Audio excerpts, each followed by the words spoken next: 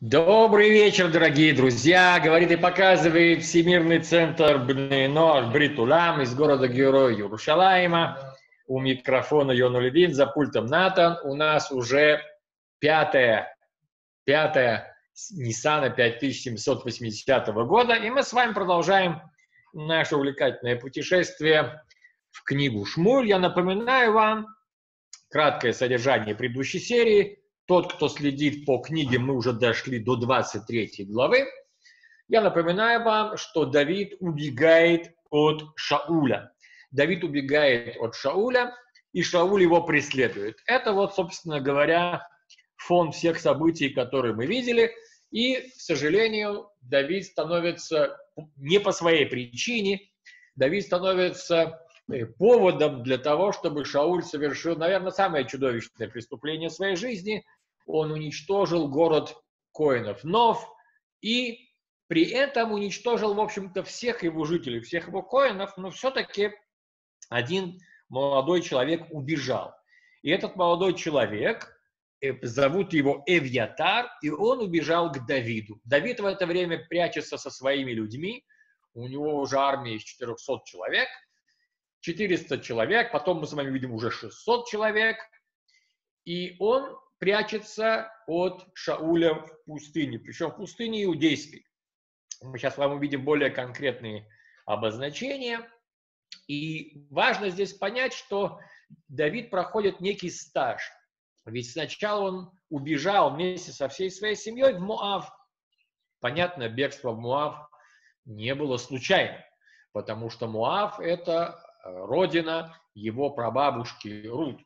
Но пророк Гад, слегка, э, пророк Гад, совершенно верно, пророк Гад, он пришел и сказал, э, пришел и сказал Давиду, что он не может, не должен оставаться в Муаве, а должен вернуться в Иуду, чтобы продолжать там э, свое формирование и э, свое существование и что-то именно конкретно делать. И мы видим, что совершенно не по своей воле, без всякого какого-то организованного и заранее изведанного плана, Давид становится таким мини-царем э, как бы в оппозиции. У него уже есть небольшая армия, но качественная. С ним работает пророк Гад.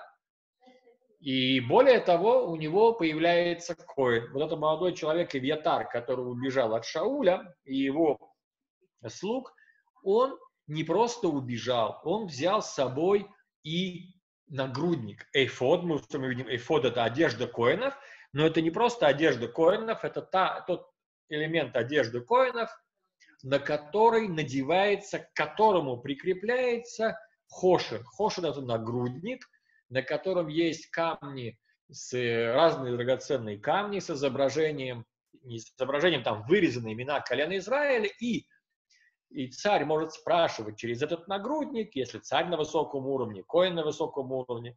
И Всевышний отвечает на вопросы царя э, таким образом, что зажигаются некоторые буквы из этих имен, и из них можно составить ответ. Ответ краткий. Мы с вами уже видели, что да, было как бы это э, в скобках нам упомянули о том, что Давид часто спрашивал, перед тем, как выходить на войну в качестве военачальника и получал ответы. Сейчас мы увидим, как он будет пользоваться этим уже в качестве самостоятельного такого командира, но не просто командира, а Давид делает из своей вот этой, ну прямо назовем вещи своими вещами. Вначале это были, это была просто банда, это люди, которые убежали по разным причинам от своих преследователей, и из них он делает армию обороны Израиля. Надо сказать, что это удивительно, но Давид сумел поднять их на высокий моральный уровень, и мы это с вами увидим. И давайте после этого краткого предисловия вернемся к нашему напряженнейшему тексту. Да, это как сериал такой, да, можно сколько угодно серий здесь выпустить. Итак, 23 глава. Я напоминаю, Давид находится в горах Иуды мы сейчас с вами даже увидим э, более конкретно, э, не просто в горах Иуды, а в основном он находится в местах рядом с Энгеди. Кто был в иудейской пустыне, прекрасно знает это место, где есть источник Энгеди, в буквальном переводе источник козленка. Он и сегодня существует, там есть разного рода источники, и рядом с ним есть вот эти горы. В горах этих есть разные пещеры, в которые можно прятаться. Вот их и использовал Давид, не говоря уже, конечно, о том, что Иуда – это надел колено его, и понятно, что он надеялся, что они его не выдадут. Ну, с этим были, будут некоторые трудности, но мы с вами увидим. И вот Давид со своей этой армией в, этих, в этой пустыне. И сказали Давиду, говоря, вот Плештим воюют в Кииле, и они грабят амбары. Надо сказать, что информация эта э, очень краткая, но очень значительная. Во-первых, кто сказал Давиду?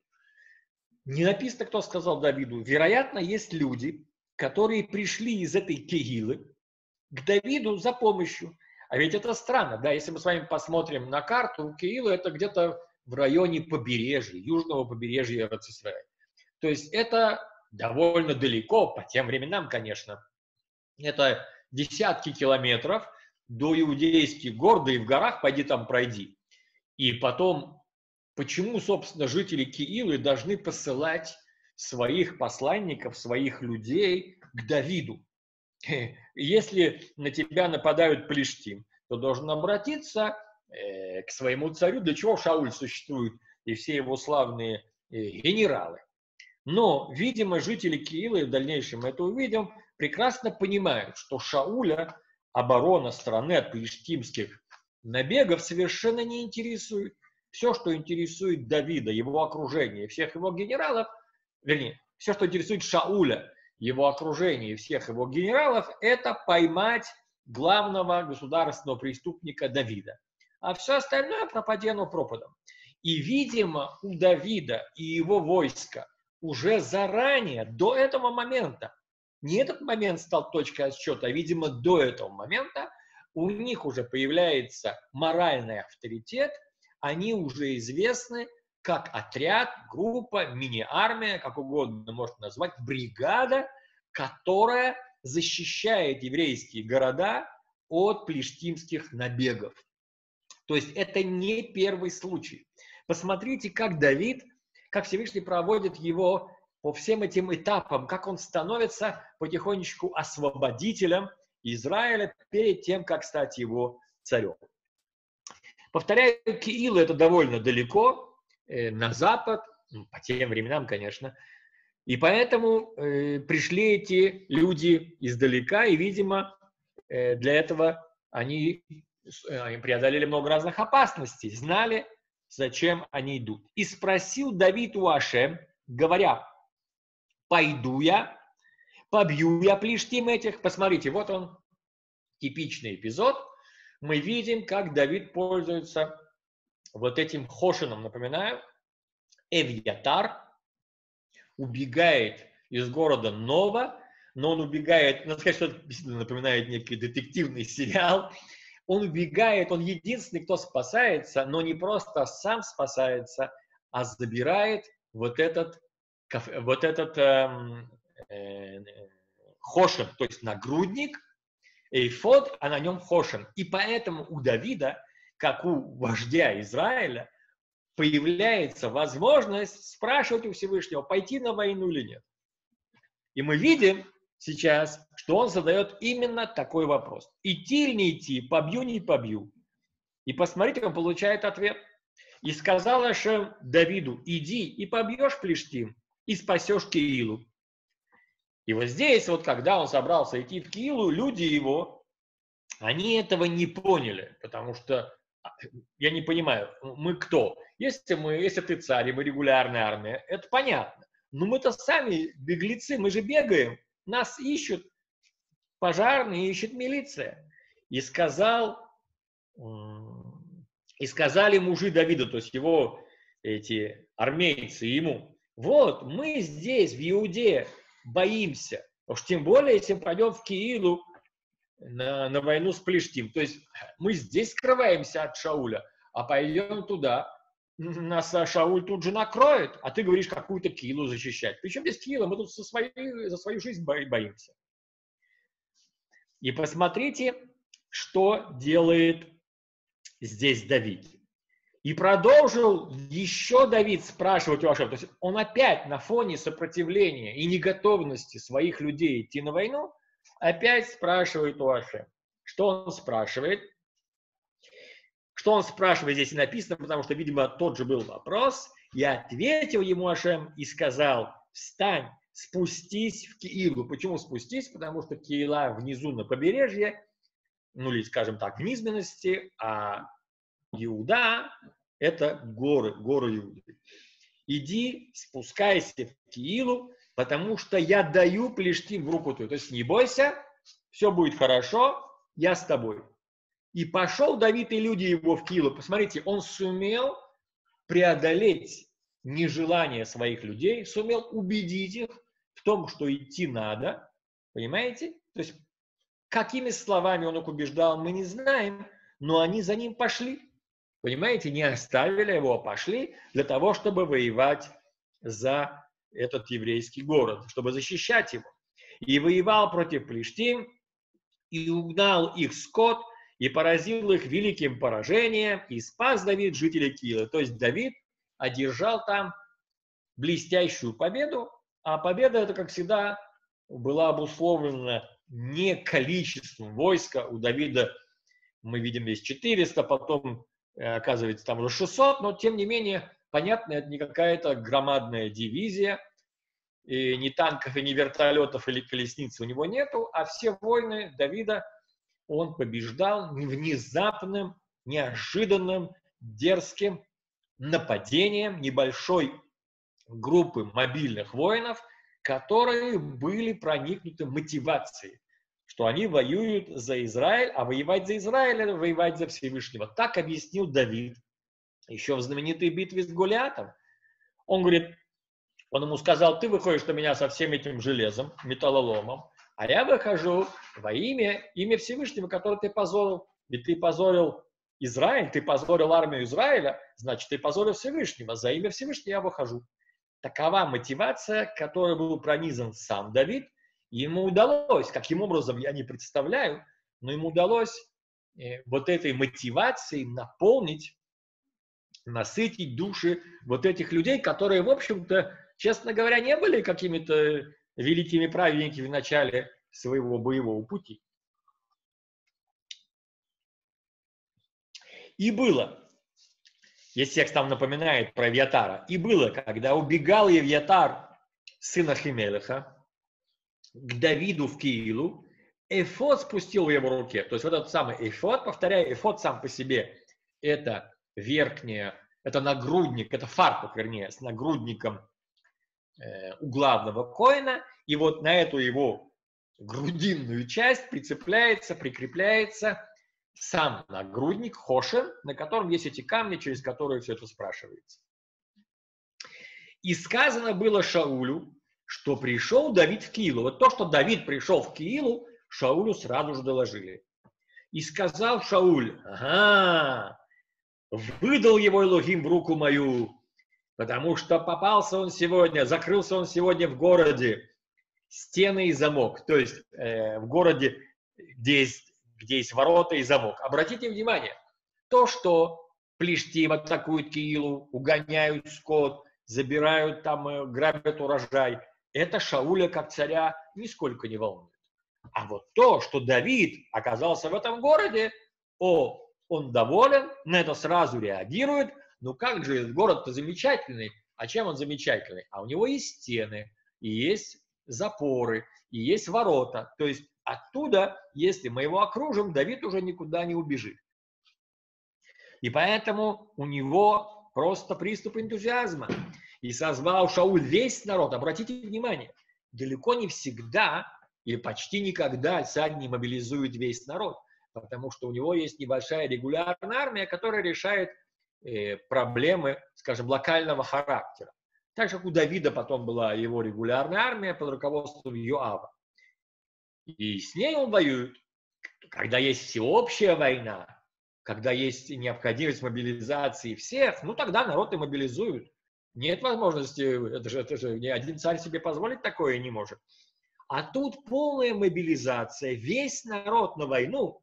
Для чего? Не для того, чтобы защитить Киилу от Плештим, нет. А для того, чтобы спуститься в Киилу, осаждать Давида и его людей. Плештим подождут, они нас не волнуют. А вот Давид попал, попался, это здорово. Полная тотальная мобилизация в стране. И узнал Давид, ну ему тоже доложили, у него тоже разведка не дремлет. И узнал Давид, что замышляет о нем Шауль зло, и сказал Ильятару Коину, поднеси эфот. То есть он опять хочет спросить у Всевышнего, как ему поступать в этой ситуации. И здесь можно выдвинуть довольно э, смелое, но обоснованное предположение, что источником информации у Давида во дворце Шауля был, видимо, Йонатан. Я думаю, что Йонатан ему докладывал об этих стратегических решениях, поскольку здесь от этого зависела жизнь Давида. Я так думаю. И сказал Давид, Давид опять спрашивает, Ашем, Лугин Израиля, слушая, послушался Давид твой, или слушая, послушался, э, послушай раба твоего, потому что ищет Шауль, или хочет Шауль прийти в Киилу чтобы уничтожить город за меня. А мы с вами-то прекрасно знаем, с какой ответственностью воспринял Давид уничтожение Нова. Из-за него, хотя он не виноват.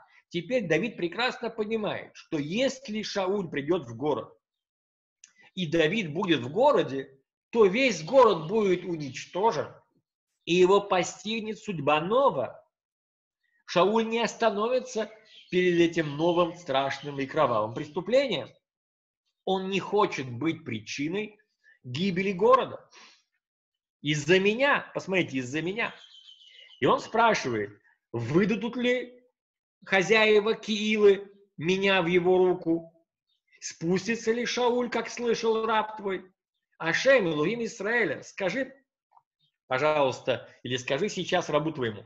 Посмотрите Здесь Давид находится, конечно, в состоянии волнения, его можно понять, и поэтому он немножечко э, нарушает правила игры в том плане, что когда спрашивают через Урим и Тумим, через этот Хошин, этот нагрудник, не задают сразу двух вопросов, потому что ты получишь ответ на один из них. А он задал два вопроса. Выдадут ли меня и спустится ли Шауль? И поэтому мы видим с вами, есть пауза. Есть пауза, которая а, объясняется тем, что, э, видимо, на первом этапе он не получил однозначного ответа, не было.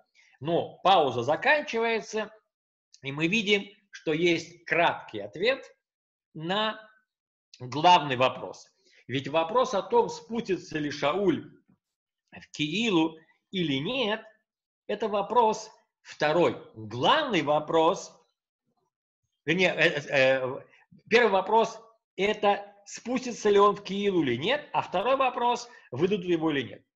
И хотя Давид поставил их в обратном порядке, получает он ответ в порядке именно с второго в первый. Посмотрите, первый ответ – и сказал Ашем спустится. Видите, видите, как получается здесь ответ? Зажигаются три буквы на этом, на этом нагруднике. Юд, рейш, далит. Поскольку ответ на этом нагруднике может быть коротким. Ты же не будет там, это же не то, что тебе какой-то мейл присылают, а зажигаются некоторые буквы, из которых ты составляешь короткий ответ. Зажглись три буквы, из которых Давид, Эвьятар, видимо, Давид, понял, что ответ Ерет, то есть спустится. Ответ на вопрос, спустится ли Шауль или нет, спустится. Теперь Давид, понимая, что он поступил неправильно, задав сразу два вопроса, задает еще один вопрос отдельно и сказал Давид, а выдадут ли меня хозяева Киилы, то есть начальство, и людей моих в руку Шаулю? И сказал Ашем, выдадут. Видите, опять ответ краткий, состоит из одного слова. Юд, самых, гимел, юд, рейш, вав. Это всего-навсего шесть букв, которые означают выдадут. Спустится? Спустится. Выдадут? Конечно, выдадут. Без проблем.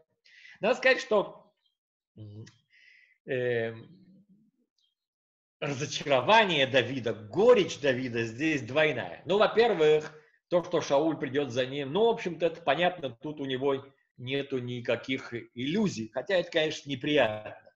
Но то, что после того, что он сделал, жители Киилы выдадут его без всяких проблем Шаулю, если он придет, это, конечно, горько и противно. С другой стороны, Давид и прекрасно их понимает. Они понимают, жители Киилы, что если они этого не сделают, то Шаул просто уничтожит весь город. И это... Э, э, в этом уже нет сомнений. Мы уже видим, что он сделал с новым, и судьба других городов будет той же.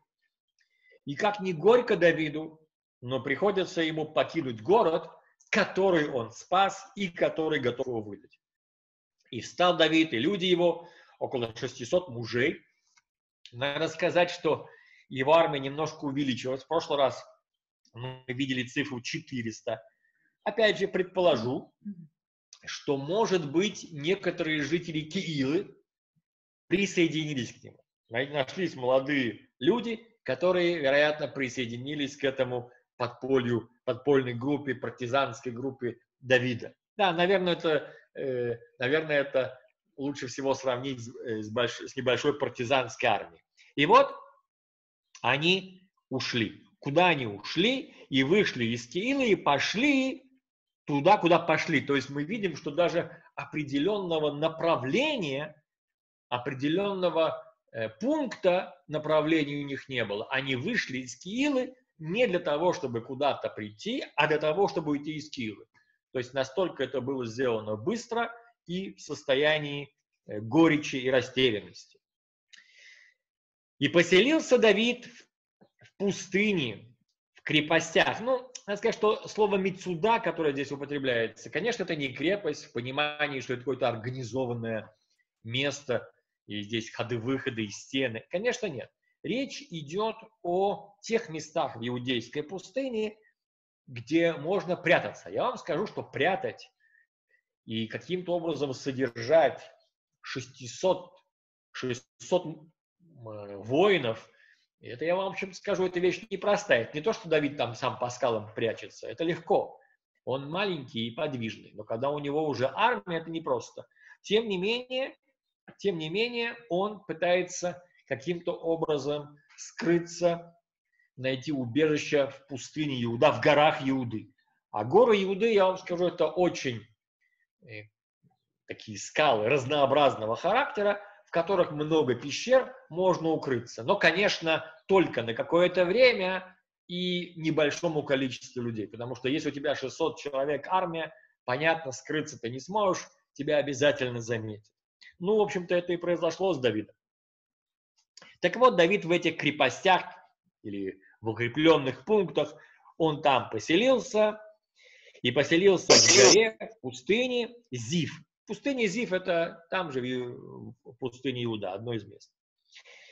И захотел или планировал Шауль все дни, то есть искал его Шауль, то есть пытался взять его Шауль все дни и не дал его Элогим в руку его. То есть мы видим с вами, что никак он не мог, не мог его поймать, Ашем не давал. Надо сказать, что для того, чтобы представить себе характер и рельеф иудейской пустыни этих гор, э, вы можете представить себе знаменитую, знаменитую крепость э, защитников э, Мецады. Да, Мецада, или как ее называют Масада, искажительно, это крепость, которую построил Ирод Гордус на высокой горе.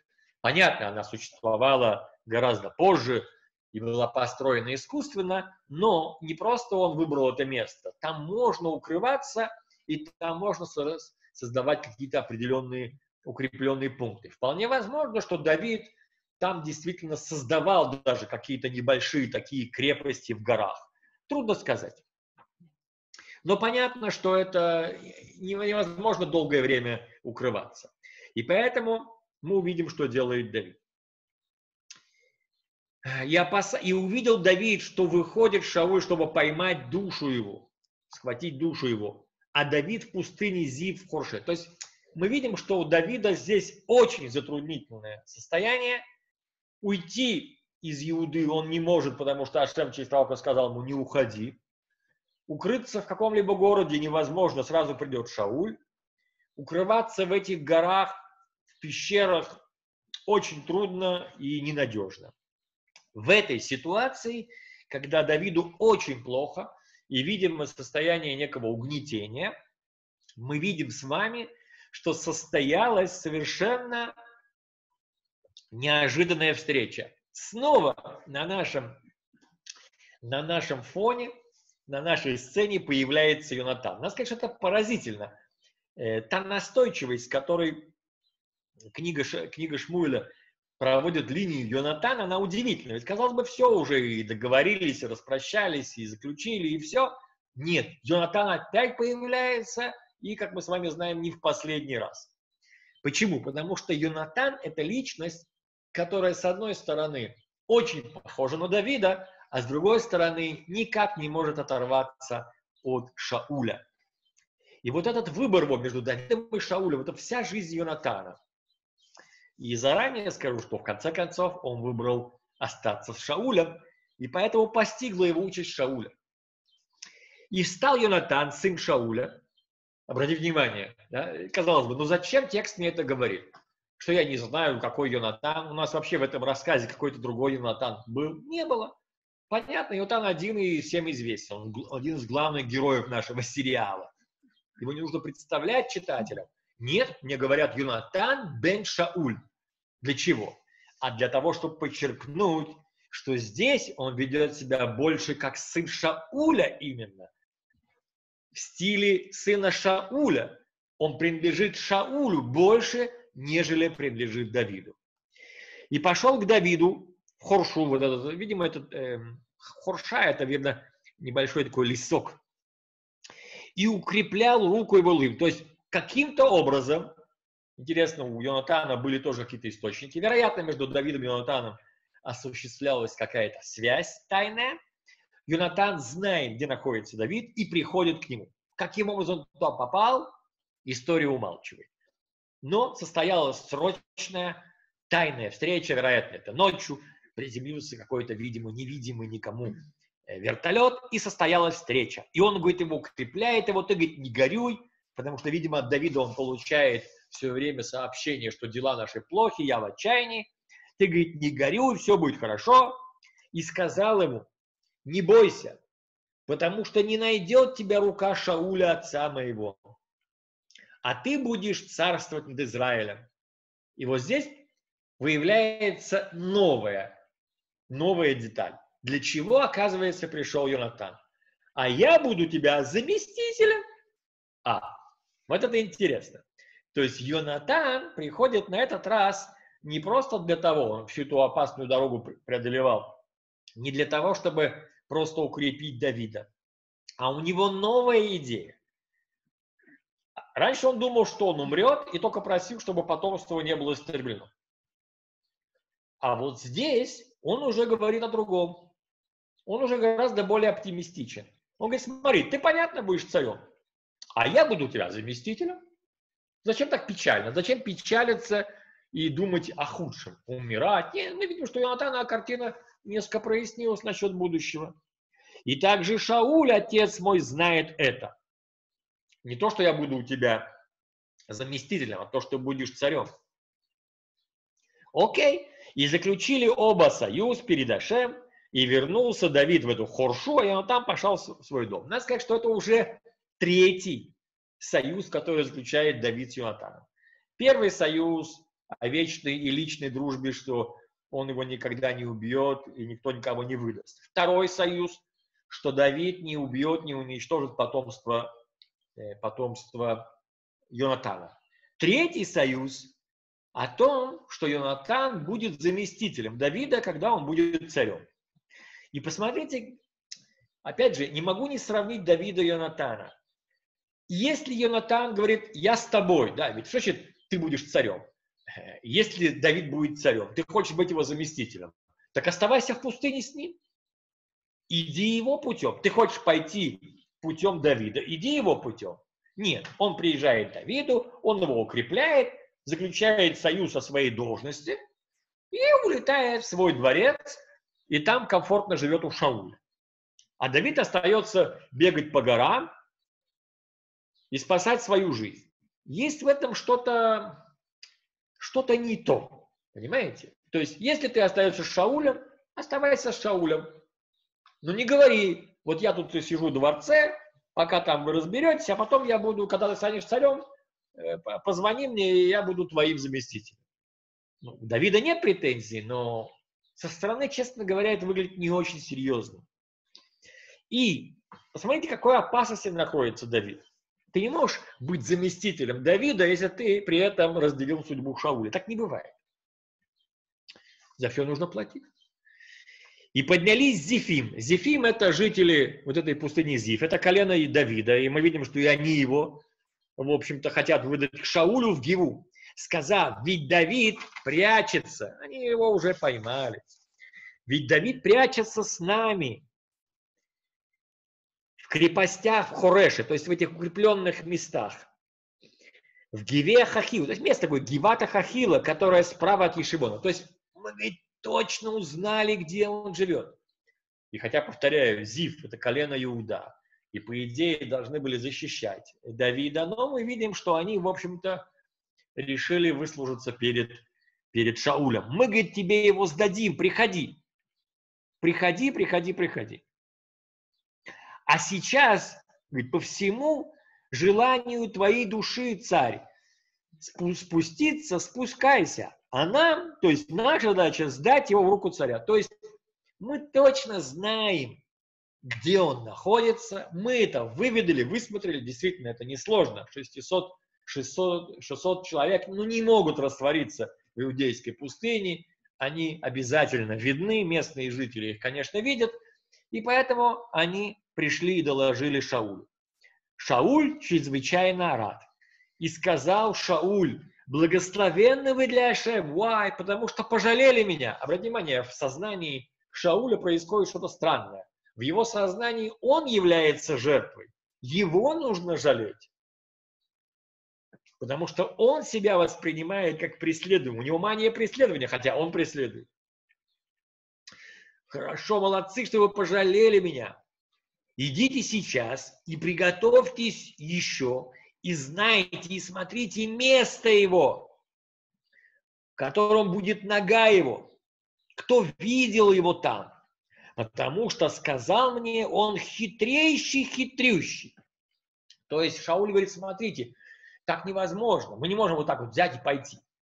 Враг хитер коварен, надо его обязательно разведать, точно удать, удать место, он очень хитрый. Здесь, надо сказать, Шауль немножечко проговорился. Он сказал, потому что сказал мне. Они пришли к нему, понимаете, жители Зифа, и говорят, вот мы тебе выдаем Давида, мы его видели и так далее. А он говорит, о, молодцы, идите, идите, но надо точно высмотреть, потому что сказал мне, что очень хитрый. Кто сказал? Вероятно, есть кто-то один, который выслеживает Давида. Опять же, можно предположить не без основания, что это Дуэг. Дуэга и Думи, он главный ненавистник Давида, который подстрекает Шауля против Давида все время. И мы с вами увидим потом, что и до этого, и потом Давид в своих обращениях к Шаулю, упрекая Шауля, будет намекать именно на Дуэга. Дуэга и Думи. Нехороший человек нехороший человек с кровавой фамилией, ведь и дом это красный, напоминает Исава. Вообще неприятная ассоциация. Короче, идите, высмотрите, он такой хитрый. Мы видим, что, что Шауль боится Давида, которого он преследует. И смотрите, и знайте, во всех убежищах, в которых он скрывается. И вернитесь ко мне, когда все будет уже точно, я пойду с вами, и будет, если он есть в стране, и я буду искать его во всех семьях Иуды. Обратите внимание, что здесь подчеркивается, что он именно идет в Иуду. Из чего истекает, проистекает опасение Шауля? что несмотря на то, что жители, жители и дома, не жители, жители Зифа, зифяне эти, они его, конечно, сдают, но в целом вся эта иудейская пустыня и вообще надел Иуды, это, конечно, надел дружественного или родственного колена Давиду. И они не позволят ему просто так поймать Давида, будут его укрывать. Возможно, окажут сопротивление.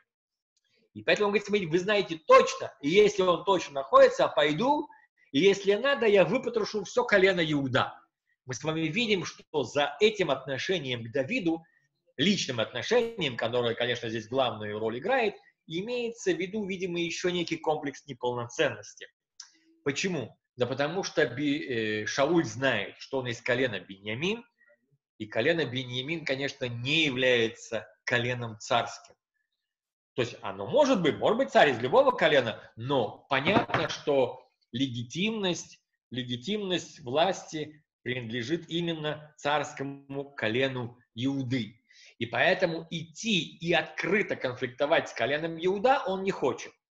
Но тем не менее, враждебность к Давиду объясняется и этим соперничеством. Понимаете? Дави, э, и он, э, Шауль все время в душе своей понимает, что не только он лично не может по своим качествам соревноваться, конкурировать с Давидом, но и колено его, и окружение его, и то его происхождение, оно тоже в этом сравнении далеко не в пользу э, Шауля. Так что надо учесть еще и это. Ну и он пошел. То есть, видимо, они пришли и доложили, и пошел Шауль и люди его искать. И сказали Давиду, то есть Давиду предупредили.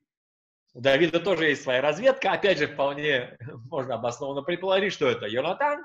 Он его предупредил, и спустился он в скалу, и сидел в пустыне Маон, это тоже там в Иуде, и услышал Шауль, понятно, скрываться от Бога невозможно, и спустился за Давидом в пустыню Маон. То есть понятно, что пустыня это Иуда, это скалы, скалы, скалы, ну сколько можно маневрировать из одной скалы в другую, из одной... Это же не, это же не один человек, вы понимаете, это, это армия, ты ее не спрячешь. И пошел Шауль, и шел Шауль с этой стороны горы, а Давид и люди его с этой стороны горы. И вот Давид уже спешил уйти от Шауля, а Шауль и его люди окружают Давида и его людей, чтобы схватить. То есть уже был момент, когда Давид шел по одной стороне скалы, а по другой стороне шел навстречу ему Шауль и его люди. Уже невоз... Они его окружали со всех сторон, уже убежать было невозможно. Это поразительный совершенно момент, когда Давид был на грани провала. И посмотрите, что произошло. Мы видим, как Всевышний лично спасает Давида. Посмотрите. Повторяю, прямо как в кино. И посланник пришел. А вы знаете, что слово «малах» в Танахе означает и человека, которого послали. Иногда пророк называется посланником, а иногда это один из видов ангелов, посланник. Какой здесь Малах не написано. И вот посланник пришел к Шаулю, сказав, быстро, то есть поспеши и иди, потому что напали Плештим на страну. То есть прибегает к нему в это время срочный адъютант из генштаба, говорит, Шауль, война! То есть именно в момент, когда он уже почти, почти схватил Давида, ему говорит, война, война! Самое поразительное это то, что он пошел на эту войну. И вернулся Шауль от преследования Давида и пошел навстречу Плештим, поэтому назвали место это, на иврите это называется Села Амахлекот. Надо сказать, что название очень выразительное, потому что в переводе оно означает «скала спора». То есть долго, видимо, спорили генералы Шауля, его окружение, с целью убедить его все-таки пойти на войну с Плештим. Там враг прорвался. Не хотел он оттуда уходить, они его убедили. И в отношении его посланца вполне возможно, что это был некий посланник, я имею в виду ангел Всевышнего, которого он послал для того, чтобы спасти э, Давида. Ну, а выглядел он, наверное, как некий порученец из генштаба. Короче, Давид был спасен последнюю секунду. И поднялся Давид оттуда и поселился в крепостях, не в крепостях, а, скажем, в пещерах, в укреплениях Эйнгеди. Вот мы с вами видим наконец-то то место, которое знакомо э, всем туристам. Знаете, источники Энгеди, это недалеко, с одной стороны, берег Соленого моря, с другой стороны, скалы. И на, там действительно есть много разных пещер в этих моментах, и обычно экскурсоводы показывают какие-нибудь пещеры, говорят, вот эта пещера, в которой прятался Давид. Ну, конечно, не стоит воспринимать слова экскурсоводов на полном серьезе, но в этих местах он действительно прятался. Но, повторяю, 600 человек, вы понимаете? Это очень трудно. Как он там сумел выжить? Ну, Всевышний помогает Давиду совершенно очевидно. И мы видим с вами, что вот в этой 23 главе показывается, как Давид проходит школу царства. Вот он, вот он Машиах, да, вот он идеальный царь Израиля. Как формируется Машиах? Какими качествами он должен обладать? Какой, каким способом, какими средствами он идет к власти? Вот она фигура Давида. Понимаете, фигура Давида – это э, у пророков и в нашей вообще традиции, это фигура идеального царя, Машеха. Вот эта династия, которую он основывает. Какими качествами обладает? Он умеет поставить политику на основу морали. Посмотрите, как из этих бандитов он сделал армию обороны Израиля. И какими, э, какими, и как он защищает эту Киилу, и какими идеями он руководствуется, каковы его, какова его мотивация. А в следующей главе мы с вами увидим, как он объясняет свои отношения Шаулю, там уж такой верх благородства, что дальше невозможно. Но об этом мы с вами узнаем в следующий раз. Есть ли у нас вопросы?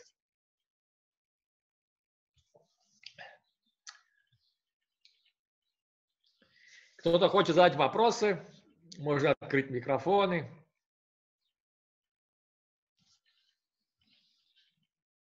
Натан, есть ли у тебя какие-то вопросы?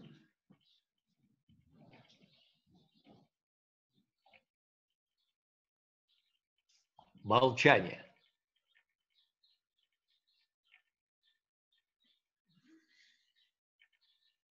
Окей. Э, я вопросов не вижу.